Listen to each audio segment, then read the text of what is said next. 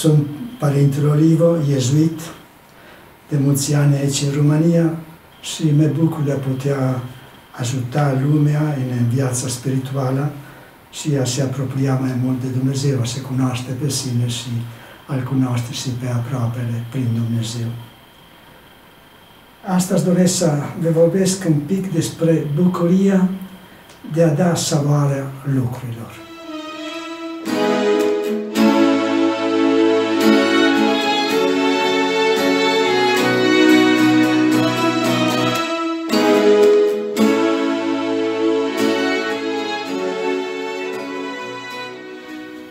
M-a venit această idee duminica trecută când am meditat despre imulțirea pâinilor.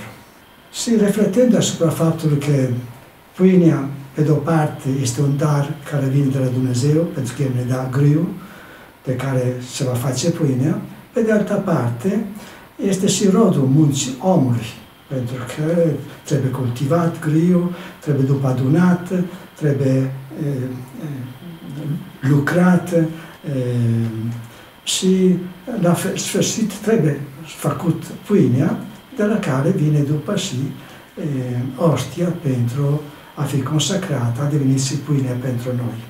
Dar este un mod diferit. Putem lucra în mod diferit această, această pâine. O putem face pentru că este, este datoria, dar o putem face și cu bucurie pentru că facem ceva care va fi plăcut Domnului, care va fi de, de ajutor pentru aproapele, precum mama în casă. Mama poate să pregătească de mâncare pentru copii cu silă, pentru fiecare zi trebuie să faci de mâncare și obosită, nu pot. Și eu uneori prefer să merg la, în piață să cumpere lucrurile gata făcute, dar când mâncăm, percepe diferența lucruri făcute cu dragoste, cu iubire, din partea unei mame, o savurăm în mod diferit. Pentru că ele pare că iub, lucruri făcute cu dragoste, cu iubire, le dau un alt gust. Mă gândesc la un copil când mama eh, nu ne prește dispus să mănânce, sau nu, nu, nu vrea să mănânce și mama spune, vezi că este bun, l-am făcut cu dragoste. E, eh, și atunci începe începe, ce percepe în această mâncare nu numai hrana, dar percepe chiar și multă dragoste, atenție din partea mamei din care, la care a făcut acest lucru. Tocmai de acolo m-am gândit și cum Dumnezeu a creat lucrurile.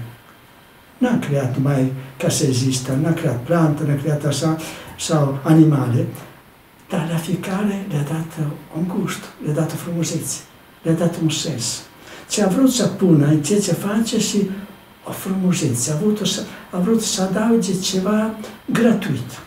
Pentru că aceste lucruri în plus și gratuite. Se făcute e, e, din inima, un, un, de, un prisos a inimii, o bucurie a inimii. Ne gândeam și la voi care faceți muzică, poate face cu ușurință și se comportă și studiu, comportă și sacrificiu, dar cât este frumos când după noi cântăm și cântăm cu bucurie.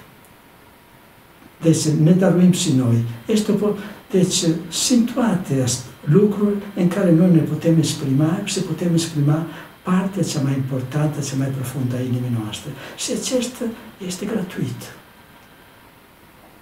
este pe de o parte este datoria, dar ceea ce este divin mai frumos este mai partea de gratuitate în care noi exprimăm noi însine. Și acolo se vede partea noastră de creativitate, pentru că înainte facem ceea ce ne am mai învățat, dar după creativitatea noastră, de, de obicei, este mereu gratuită. Acolo exprimăm cine suntem noi, bucuria noastră, uh, lucrul nostru, uh, adaugă ceea ce se adaugă în plus din partea noastră și, de fapt, lumea percepe acest lucru. Mai mult decât munca de, de care stă la bază, percepe special acesta în plus pe care noi îl dăm. Tocmai de aceea, Iisus în Evanghelia vorbește des despre creștini ca fiind lumina lumii și sarea pământului. Deci nu ne spune trebuie să faci acest lucru, dar să fiți sare. Sarea pământului. Deci, pe lângă faptul că aveți o substanță, sarea este ceva care dă savoare lucrurilor. Da, da substanță. Lucruri fără sare pare că nu au gust, nu sunt atât de plăcuți. Și ce este important? Că sarea nu rămâne ea însă, trebuie să se trupească. Practic, sarea, sarea dispare. Să ce rămâne, rămâne gustul în bucatele pe care noi le mâncăm. Aici se vede cu totul gratuitatea din partea, din partea sarii și din partea noastră, din partea creștină. Dacă vrem să fim sare și vrem să ne păstrăm ca sare, nu suntem savuroși. Ce, e, suntem închisi noi însine și nu ajutăm pe ceilalți. Dacă vrem să ajutăm pe ceilalți, trebuie să ne lăsăm trupiți. Este exemplul lui Hristos. Iisus Hristos vorbește despre sarea și lumina, tocmai pentru că vorbește despre El însuși. El, întrupându-se, venind din mijlocul nostru, s-a făcut cu adevărată sare. A vrut să dea gust, valoare, creație și viața noastră, relațiile noastre, să ne face bucuros. Și El s-a topit în faptul că noi am devenit ce ce am devenit. Practic, noi devenim transparența prezenței Lui, tocmai pe faptul că devenim savuros, devenim bucuros, devenim luminos. La fel și lumina. Lumina lumea, lumea, lumea nu, lumina nu luminează pentru ea însă. Când noi intrăm într-o, într-o cameră întunecată, nu vedem nimic. Aprinde lumina. Și atenție, nu, nu punem atenția asupra, nu ne uităm la becul. Ce frumos becul.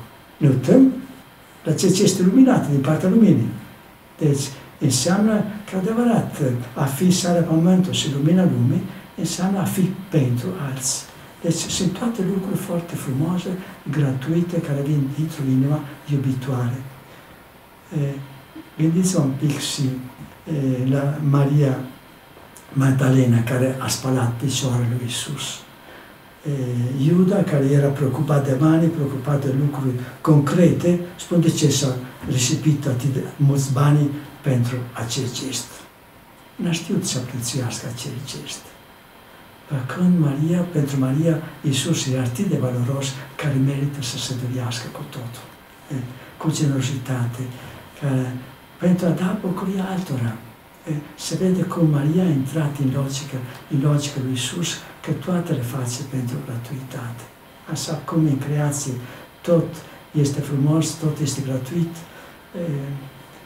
și noi ne bucurăm de lucruri pe care le vedem, la fel Dumnezeu se bucură pentru noi.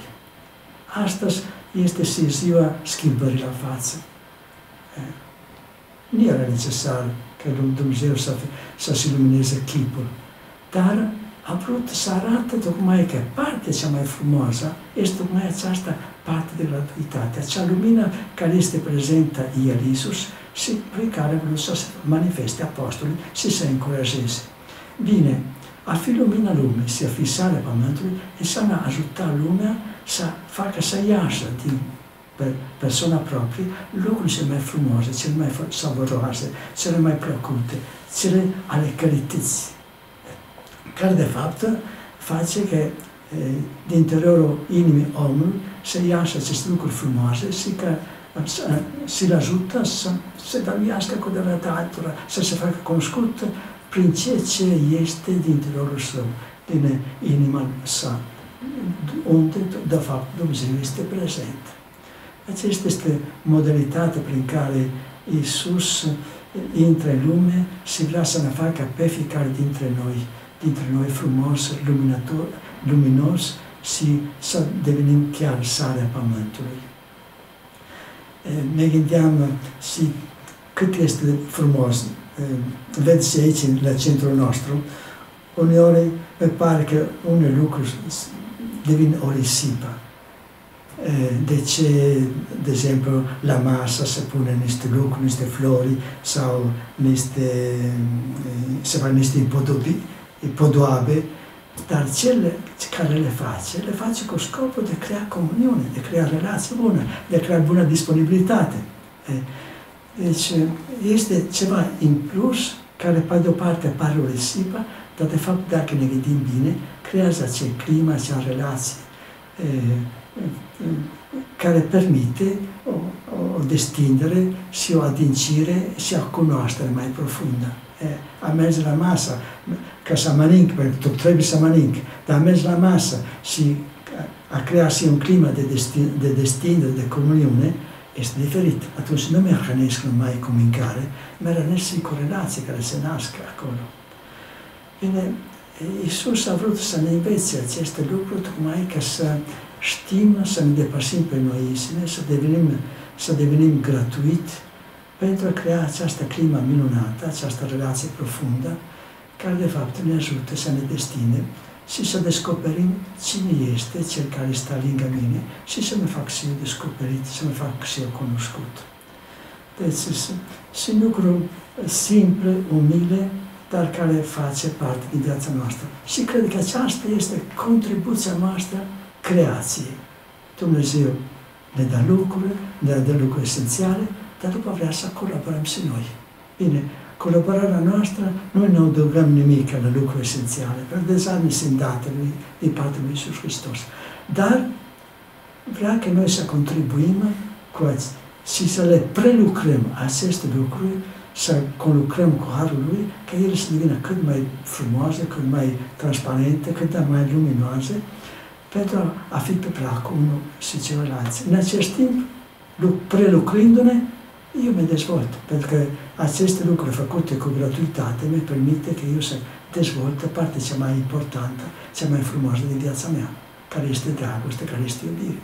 De fapt, lucruri făcute cu, cu gratuitate și lucruri făcute din iubire.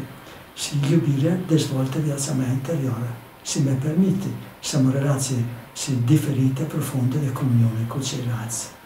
Și în felul acesta îl fac, de fapt, cunoscut pe Dumnezeu, care este gratuitate, este iubire, este lumină, este savoarea lucrurilor. Acestea sunt câteva cuvinte pe care am dorit să le exprim și care m-au ajutat și pe mine când m-am întâlnit cu aceste teste biblice și sper să mă ajute și pe mine să fiu mai gratuit, mai atent față de aproape și mai sensibil față de lucruri e, e, e, prezente în natură și să descoper și eu mai bine e, frumusețea din natură, să mă bucur și de lumină, să mă bucur și de muzică și de cântecele pe care și voi le faceți, le propuneți aproape de voastră. Mulțumesc!